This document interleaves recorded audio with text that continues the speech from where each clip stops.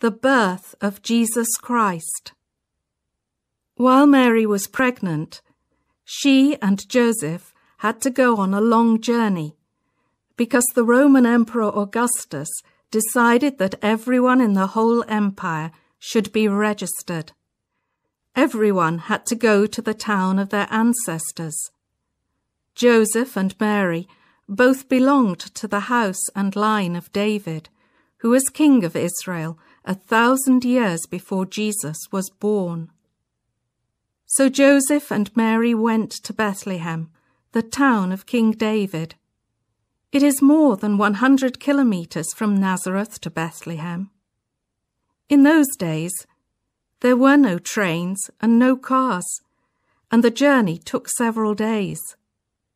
Nazareth lies in northern Israel, in Galilee, and Bethlehem in the south, in Judea. And on their way from Galilee to Judea, they had to travel through the mountainous area of Samaria. When Joseph and Mary finally arrived in Bethlehem, all the hotels were full. And then the time came for her to give birth. We read in the Gospel that she gave birth to her firstborn, a son. She wrapped him in cloths and placed him in a manger.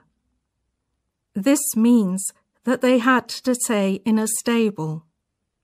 Tradition says that the stable was in a cave. In that area, shepherds still use stables like that to gather their sheep.